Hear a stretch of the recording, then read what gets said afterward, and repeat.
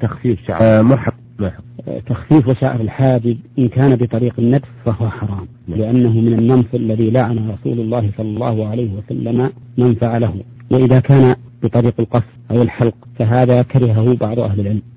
و ومنعه بعضهم وجعله من النمط. وقال إن النمط ليس خاصا بالنتف بل هو, بل هو عام لكل تغيير للشعر لم يأذن الله به.